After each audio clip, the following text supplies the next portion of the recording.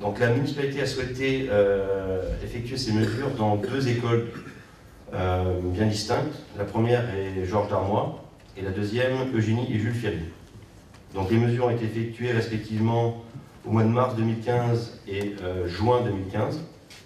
Les résultats publiés donc, par euh, ont permis de mettre en évidence donc, que les niveaux de formaldéhyde, comme les niveaux de benzène, sont inférieurs aux valeurs préconisées et donc très nettement inférieurs aux valeurs d'alerte. Donc une bonne nouvelle.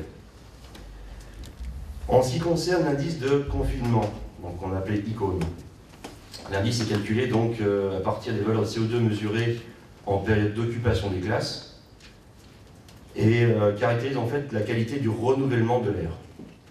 Donc nous constatons que deux classes sur trois où les mesures ont été effectuées à l'école Georges Darmois présentent des valeurs dites élevées, avec un indice de 3 sur un 5 maximum. Et euh, l'école Eugénie et Jules Ferry ne présentent que des valeurs faibles à moyen.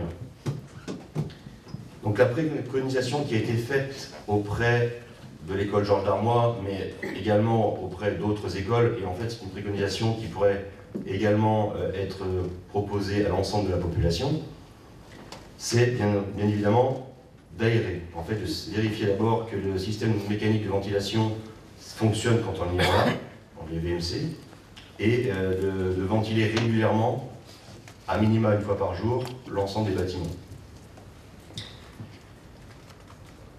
Aussi, la vétusté du bâtiment euh, Georges Darmois, euh, le bâtiment qui abrite l'école, nécessite un investissement conséquent et lourd.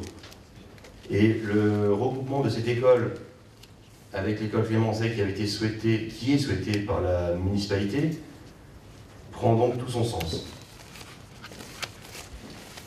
Aussi, afin de garantir la qualité de l'air dans les établissements accueillants donc, du public, on va dire principalement les écoles, mais également la mairie ou d'autres établissements, euh, nous avons mis en place un plan d'action qui nous avons intégré au euh, programme développement durable, donc l'année verte, avec, pour exemple, entre autres, hein, prise en compte de la dimension écologique dans tous les marchés passés par la collectivité, donc de dimension écologique, un programme de rénovation des bâtiments prenant en compte la qualité écologique des matériaux utilisés,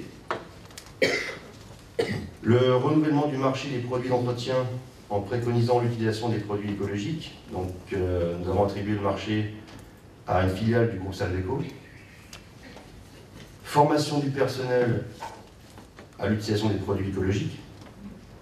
Formation des agents euh, à la santé et sécurité au travail, mais également à la prévention liée aux risques et aux activités physiques.